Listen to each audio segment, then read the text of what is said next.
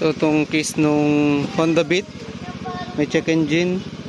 Ang blinking niya, isang mabagal, isang mabilis. Okay? So ito tuturo ko sa inyo kung paano gawin to. Ayan, isa pa. Hintayin natin. Mabagal, mabilis. Ayan, tara.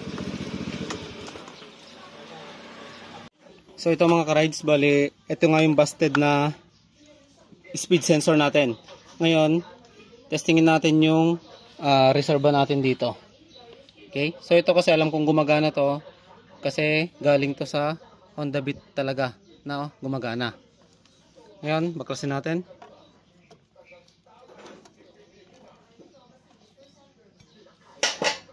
Tapos ugayin nyo lang konti. Ayan. Mahatak nyo na. So ito yung busted kasi nakita na natin lahat ng wirings. Wala namang putol.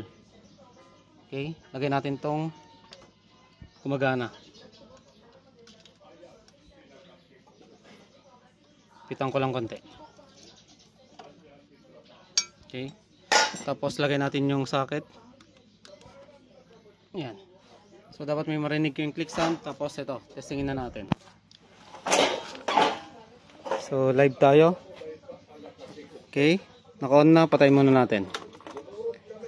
Okay, on natin. Yan. So, walang check engine, panda rin natin. So, bali, ito, rev na natin.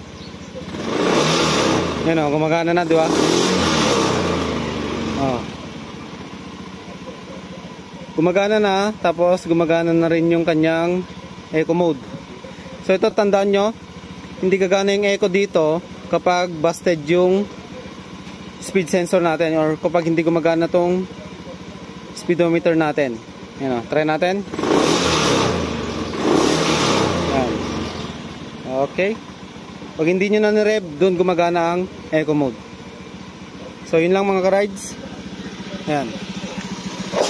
Ang sira, itong speed sensor na to. Okay? So, yung customer natin, pabibili na natin ng ganito. Tapos, all goods na yan. Okay? Ride safe. Sana may natutunan kayo.